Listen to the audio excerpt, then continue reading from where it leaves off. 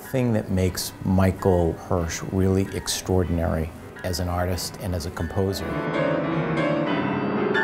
is his clear vision of an artistic ideal.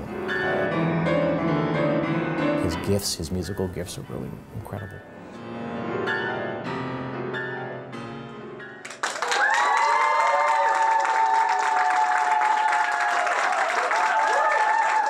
This is one of the best days of the year at Johns Hopkins University. Today, the Provost and I will award the President's Frontier Award to Michael Hersch. Congratulations, Michael. We're very proud to be able to recognize his artistic talent. He is a creative genius.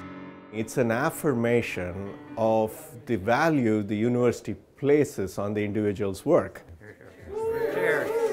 This is an award that was initiated three years ago by graduates Lou Forster and Kathy Pike. They wanted to give an award to a faculty member that would give them the space, the support, the time to pursue their research, their creative endeavor. I'll be able to, to do things that were just simply not con conceivable to be done without the kind of support that this will allow for.